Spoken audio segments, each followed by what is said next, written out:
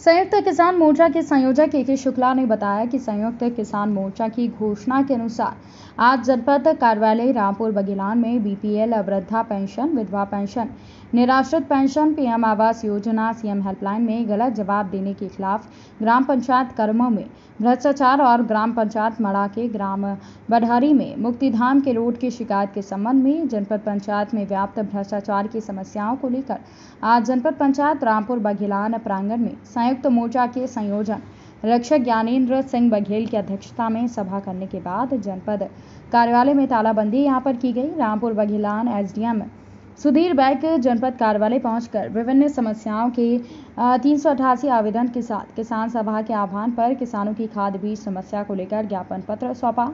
कार्यक्रम में आज संयुक्त किसान मोर्चा के संयोजक के के शुक्ला के नेतृत्व में किसान एकता संघ के प्रदेश अध्यक्ष गंगा प्रसाद पांडे, जिला प्रवक्ता शिवराम सिंह सह संयोजक संजय पांडे, ब्लॉक अध्यक्ष उचेहरा ठाकुर प्रसाद सिंह, जिला अध्यक्ष सचिदानंद सिंह के साथ तमाम लोग मौजूद रहे। इस दौरान किसान नेता अर्जुन दाहिया और साथ ही किसान नेता शिव शरण सिंह ने और साथ ही गौरव शर्मा, जयराम सिंह, श्रीकांत द्विवेदी, अनु सिंह महिदर और चंद्रशेखर तिवारी, शेखर ब्रज किशोर द्विवेदी आदि लोग मौजूद थे। इस दौरान अनिल सिंह, लालमन सिंह दादू भाई सेन, सुरसरी प्रसाद शर्मा, वीरेंद्र शुक्ला, रमन पांडे, विपिन तिवारी के साथ ही राजेश तिवारी, अजीत सिंह, कल्याण सिंह, विनोद सिंह, शिवेंद्र आदि किसान उपस्थित रहे।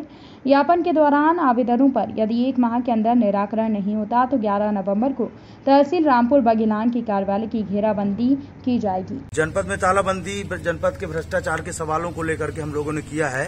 संतानवे पंचायत के अंदर व्याप्त भ्रष्टाचार है, जिनकी लिखित शिकायत की गई थी, उस पर कोई कार्रवाई नहीं हुई। इसलिए संयुक्त किसान मोर्चे के संचालन समिति बैठक करके आज तालाबंदी का निर्णय लिया और हम लोगों ने आज जो है जनपद में हज़ारों की संख्या में किसान मजदूर इकट्ठा करके हम लोगों ने सात सूत्री मांगों का एक ज्ञापन पत्र सौंपा है और उसी को लेकर के आज तालाबंदी की गई है।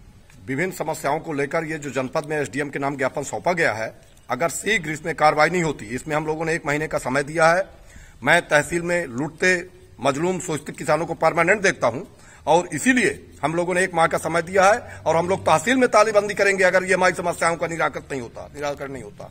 हम ये कहेंगे कि जिस तरह आज कर्मऊ को उजागर हो हर पंचायत में भ्रष्टाचार है हर पंचायत का मुद्दा हम लोग लेके यहाँ रखेंगे और उस पर कार्रवाई कराएँगे। ना होगी तो उसका उग्र आंदोलन हम लोग करेंगे।